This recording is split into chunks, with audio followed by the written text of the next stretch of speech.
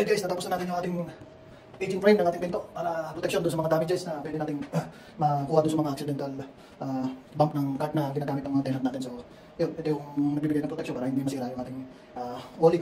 So, maganda to, mayroon ganito. Yan, matibay yan. Hanggang doon yan sa baba. Kahit dito, yan, hanggang dito yan. Kahit dito sa baba, yan. Hanggang doon sa taas. Yan, stainless naman yan, so maganda yan.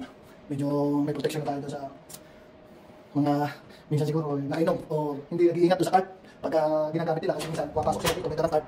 Kaya pumapangga dyan kaya madali masira so ngayon meron na tayong ganyan. At least naka naka-prevent tayo ng mga gawain natin. Uh, less materials pati sa, oras. So okay guys. Thank you guys